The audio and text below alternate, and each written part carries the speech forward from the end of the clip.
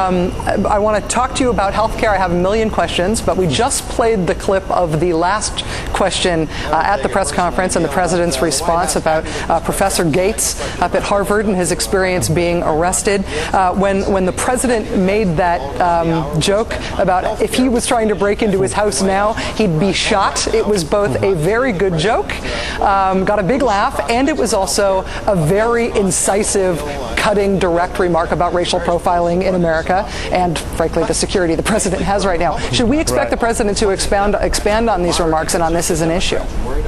Well, look, I think as you heard Howard uh, talk about just in the most previous segment, this is an issue that the president has worked on with police and communities in Illinois to raise awareness about racial profiling.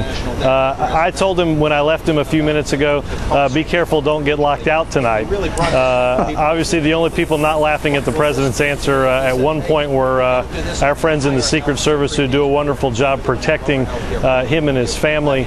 but obviously, this is a serious issue, and I think uh, it shows uh, that we've come a, a, long way in this country, but we still have uh, a lot of work to do.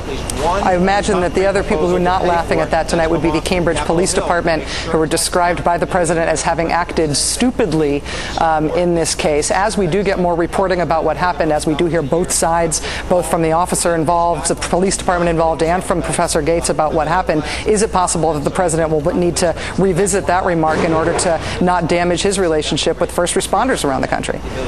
Well, look, he has tremendous respect for police uh, in this city, uh, ones that keep he and his family and all of our families safe throughout the country.